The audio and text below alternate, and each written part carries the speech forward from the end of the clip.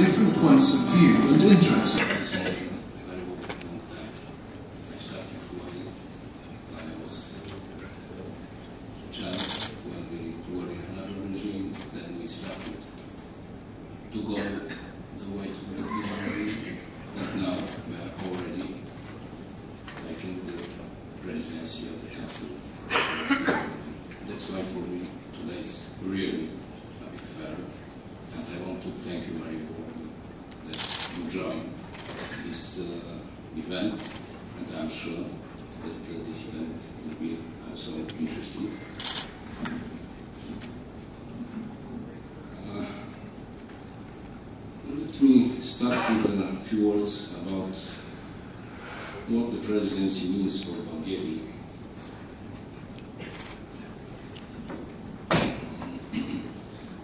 Taking over the rotating presidency of the Council, the European Union is both a challenge and a responsibility for us. We, we start to prepare for this. Bugarske, dakle od januara do jula 2018. godine, koja je najavljeno kao važan e, segment evropskog predsedavanja, izvinjam se, morala sam pomenem studenti fakulteta političkih nauka, njih pozdravljam, dakle, koje je najavljeno kao važan segment dakle, za pristupanje, dakle, ne samo Srbije, već u kontekstu zapadno-balkanske šestorke, kako oni često zovu.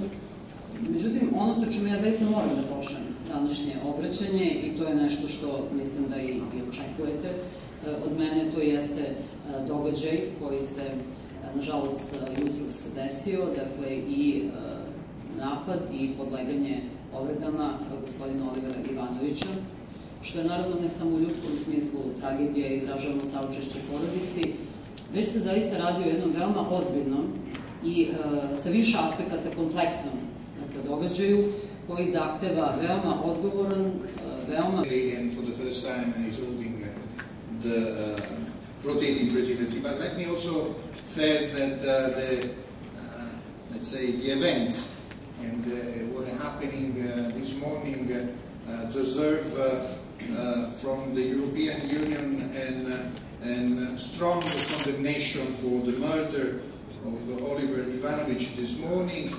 Our condolences, first of all, goes to Oliver Ivanovic's family. the European Union call upon the relevant Kosovo rule of law authorities to spare no effort to find the perpetrators and bring them to justice without delay. Uh, will support the authorities in accordance with its mandate, and we call on all sides uh, to show calm and the agenda of the European Union. As the minister has said, as also President Tusk, President Juncker, President, Vice President, uh, President Tajani in their speeches in Sofia,